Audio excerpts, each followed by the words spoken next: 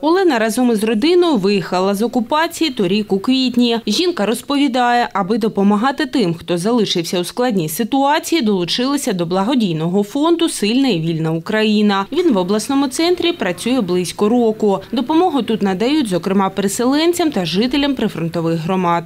Вся гуманітарна допомога, яка надходить до нашого фонду, е, ми командою швиденько е, розподіляємо її в цьому складі. Це, звичайно, є е, продукти харчування, які ви бачите за спиною, засоби гігієни.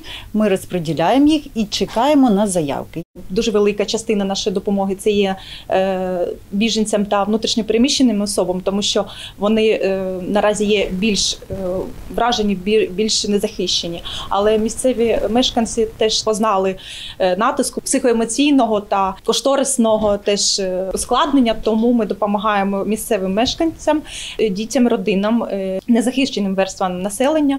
Ольга каже, аби отримати допомогу, можна написати у телеграм-канал фонду або ж на їхній офіційний сайт. Кожен надавач допомоги е, надає нам необхідні е, для анкети, для заповнення анкети дані, які ми, які ми е, комплектуємо в анкеті в електронній формі, і просимо всіх бажаючих і людей, які підходять по критеріям.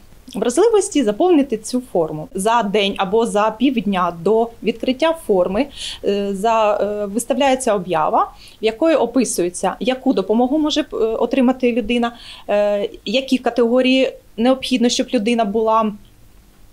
На яку категорію мала людина, і обов'язково це має бути документальне підтвердження тієї категорії, яка вказана в цій об'яві. Також допомагають і жителям прифронтових громад Запорізької та Донецької областей, розповідає волонтер Олексій. Чоловік виїхав з окупації в липні 2022 року. Тому каже, розуміє наскільки нині необхідна допомога. Мешканців прифронтових сіл та міст забезпечують продуктами харчування, зокрема жителів Оріхова. Їздили в Новоданиловку. Його зараз стирають е, просто з лиця землі. Ми займалися там евакуацією двох людей, які вже не витримали і забирали свої речі, і ми їх вивозили звідти. Наразі благодійний фонд Сильна та вільна Україна допомагає близько 15 тисячам людей, каже його директорка Ольга Корбан.